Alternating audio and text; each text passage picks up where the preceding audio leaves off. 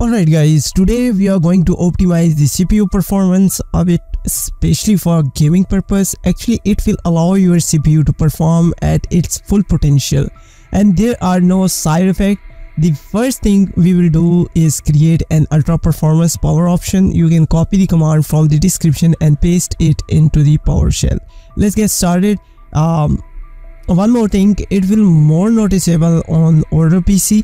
So if you are using the older PC just let me know in the comment section and after applying these uh, configuration. The first thing you need to do here just um, copy the command from description and paste it in the power shell. So just type here the PowerShell first. Okay all right let's go into the uh, edit power plan.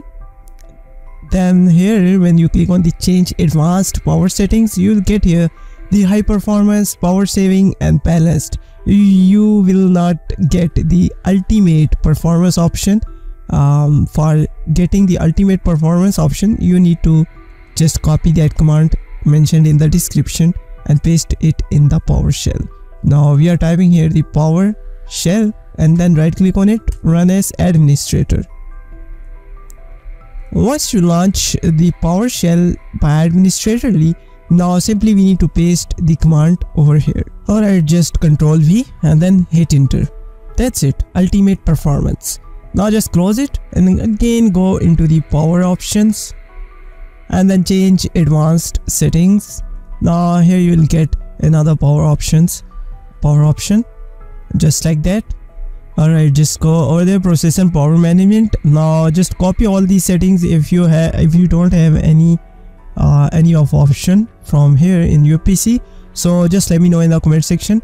Now processor performance core parking should be on 100% processor idle demote threshold should be on 40 then processor idle disable um, should be on enable and maximum uh, processor frequency idle promote threshold 60 minimum processor state 100% processor performance core parking over utilization threshold should be on 60% and system cooling policy active and the maximum processor state should be on 100% and then hit apply. Okay.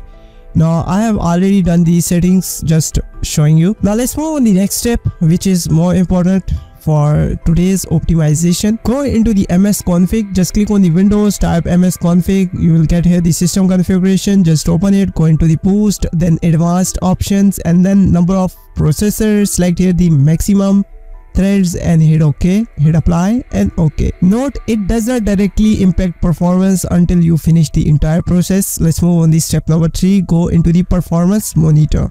So just click here type here the performance monitor. Once you open this now you will see here the data collector. On the right side you will see user defined. Just double tap on it and then right click on it. Go into the new data collector set. Now type here cpu boosting you can type any name actually. Create manually. We will go like advanced. Then click on next. Now performance counter. Click on next. Click on add. Now here we need to add a few things just select here the processor and expand it. Once you expand it select here the maximum thresh uh, maximum threads. Click on add over here. Now one more thing we need to add from here which is uh, thread count. Just select it and click on add. Once you add over here now simply you need to click on ok and then click on finish once you have done this you can also right click on it and click on start otherwise just restart your pc and it will start automatically. You don't need to do any further thing with this. After doing this just close it. Now next. Uh, by the way it's by ringbell and i really appreciate it for these registry tweaks. These are amazing guys. Uh, first we will optimize the uh, cpu optimization. But before creating any uh, registry tweak you need to make a backup. So for that you can just go type here the registry editor open it click on the file and then make sure click on the export and make a backup anywhere. Anyways i don't need to make any backup. Just click on ok ok and then disable power throttling click on yes ok. Game optimization click on yes ok.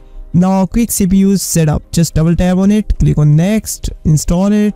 Install install and then launch it might be there's a new update available but you don't need to update it anymore because we don't need anything from this now make sure select core parking on uh, index on 100%, turbo boosting index on 100% and frequency scaling index on 100%. I have already done these settings so it's just working pretty well.